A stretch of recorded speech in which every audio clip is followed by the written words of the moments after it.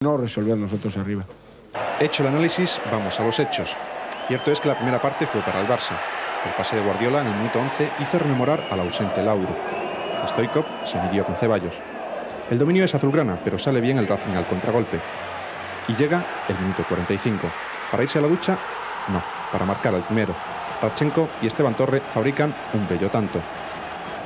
Todo podía pasar tras el descanso. El Barcelona suele remontar bien los marcadores adversos. Pero a los siete minutos de salir a la cancha, el capitán Quique Setién dio un cabezazo que metió a Busquet en sus redes. El pase y el regate de Popov bien merecían el remate de Setién. Y llega en el minuto 13 la jugada más polémica del encuentro. El protagonista es otra vez Setién. ¿Toca o no toca el balón? La intención parece clara y la trayectoria del balón parece desviarse, pero no es fácil apreciar el contacto. López Nieto consultó a su linier y no señaló nada. A los cuatro minutos Ferrer vio la roja directa por la entrada a Villabona.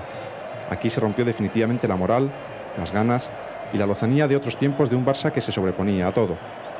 Solo siete minutos después, Merino, en un remate espectacular tras la jugada de Rachenko y de Esteban Torre, puso el 3 a 0.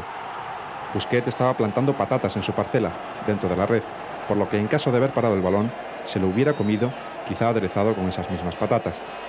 Pero todavía tendría tiempo Carlos Busquet de buscar frutos, quizás uvas, en esa parra imposible a la que se agarró Rachenko para hacer el 4 a 0. Estamos todavía en el minuto 29, podrían haber sido muchos más. Rachenko malogró múltiples oportunidades.